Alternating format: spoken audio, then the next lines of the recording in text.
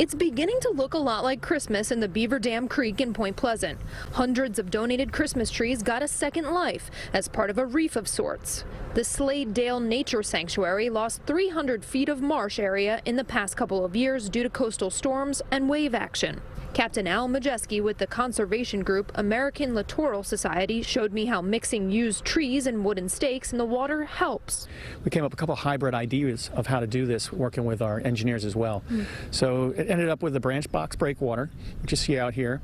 Uh, originally, that's something used in New Orleans after Katrina. And then we have uh, the tree vanes uh, that kind of come off the shore, a little perpendicular, that catch the sediment once it comes out of suspension. Mm. So the whole thing is, is we don't have branch boxes or the branches like they do in New Orleans. So we try to figure out what, what could we use. And we have Christmas trees and we get them every year.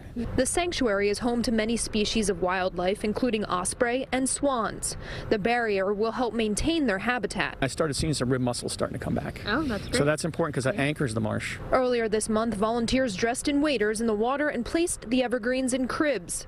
The trees are weighed down by oyster shells collected from restaurants through a program called Shuck It, Don't Chuck It. Modjeski says Christmas trees are perfect because they are natural, available, and water can run through the branches. Further north here in Bradley Beach, Christmas trees were used to rebuild the dune system after Superstorm Sandy. Locals say the six to eight feet wide dunes make a big difference. Modjeski says both projects took little funding, but a lot of community involvement for the greater good of the local environment. In Point Pleasant, New Jersey, Meg Baker, CBS 2 News.